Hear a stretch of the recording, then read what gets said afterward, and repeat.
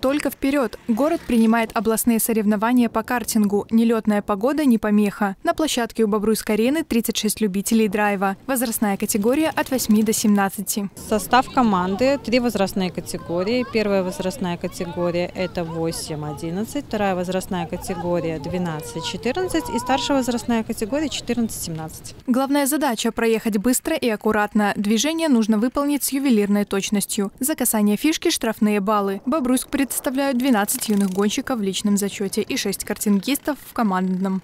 Это моя машина, я ее сам собирал полностью. Тренировках мы учимся собирать и разбирать машину, смотрим внутренность э, двигателя. Если что-то сломалось, то мы сами ремонтируем, тренер подсказывает, ну, именно помогает, как правильно мы должны это сделать. Картинг – эдакий мини-болид. Компактные шумные машины со сложной конструкцией. Основные элементы, как у легковушки – четыре колеса, руль, педали и двигатель. Обучиться вождению можно в Бобруйске. Нам вот город выделил площадочку, где мы можем тренироваться. Здесь это практическая часть.